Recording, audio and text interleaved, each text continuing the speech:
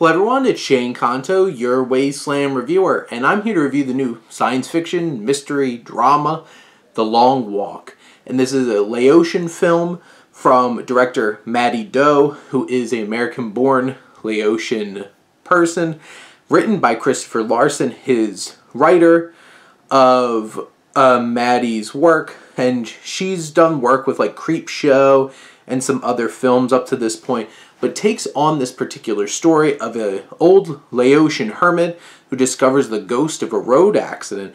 Victim can transport him back time 50 years to the moment of his mother's painful death.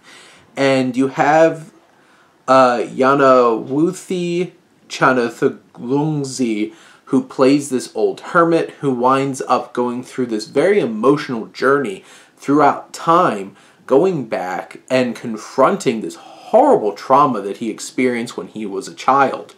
And this old man is living his life in the future and or present, however you want to perspective that you want to come from and going back in time to this point and having to relive this. And it's gruesome. It's brutal.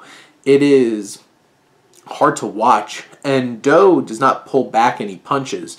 This film is very beautifully shot beautifully directed and really captures the emotions in every single scene especially in the moments where you see the suffering that this old hermit's mother is experiencing in those moments. And there's just something that really pulls at you. And it's haunting and emotional. And that's one thing that this film truly succeeds in is making you feel. It is, like I said, beautifully shot. And there's just an atmosphere about it that brings out a lot of emotions. Now, I have to say, the time traveling doesn't always make sense. The narrative doesn't always make sense.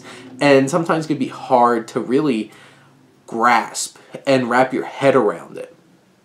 But what it does succeed in, like I mentioned, is beautiful, being beautifully shot and beautifully acted.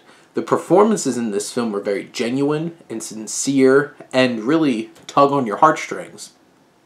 And the film also is able to pull those emotions out with um, Mattie Do's direction, with Christopher Larsen's writing and how he sets up the story, and when it comes down to the actors portraying this.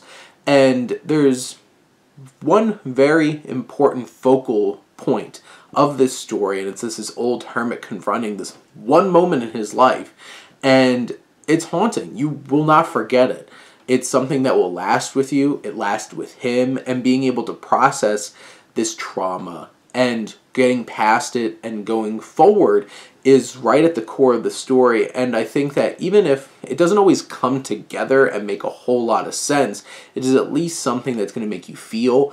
It's going to inspire you. You're going to see real artful filmmaking here. It's just a gorgeous film with all the landscape that's brought to life on it.